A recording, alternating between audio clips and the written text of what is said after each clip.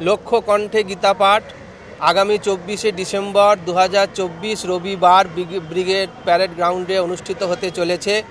তার জন্য আমি সমস্ত সমাজের মানুষকে, সনাতনী মানুষকে আহ্বান জানাচ্ছি।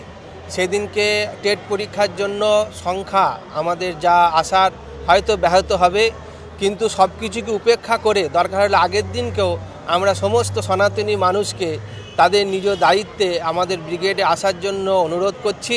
কারণ কি এটা কেবলমাত্র আমাদের আহ্বানী অনুষ্ঠানটা নয়, সনাতন ধর্মের ঐতিহ্য রক্ষা করা।